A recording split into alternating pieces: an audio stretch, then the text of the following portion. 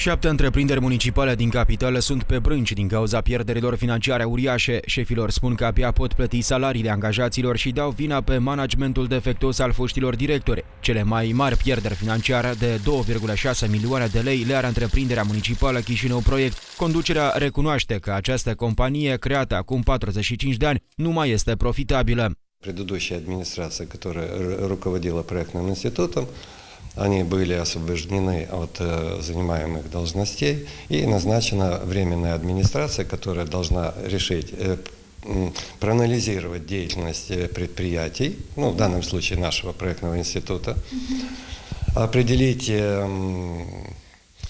почему произошли вот эти вот ну, негативные явления, проводится, да, и дать предложение уже по реформированию. Pierderi de aproape 2 milioane de lei a înregistrat și Direcția Construcții Capitale. Cuantumul acestora s-a dublat față de anul precedent, motiv pentru care angajații primesc salariile cu întârziere. Pierderile se datorează faptului că factorii de decizii anterior din cadrul Direcției Construcții Capitale au avut un management defectuos la întreprindere, care a generat pierderi enorme. Doar 650 de mii sunt penalități la taxe și impozite către stat.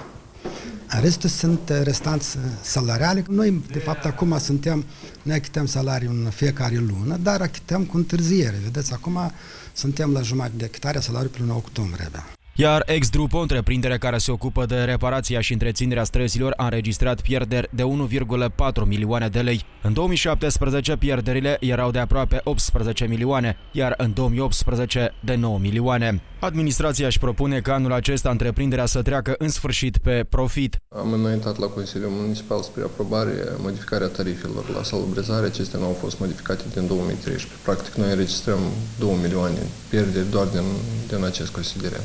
Acolo mediu de 60%.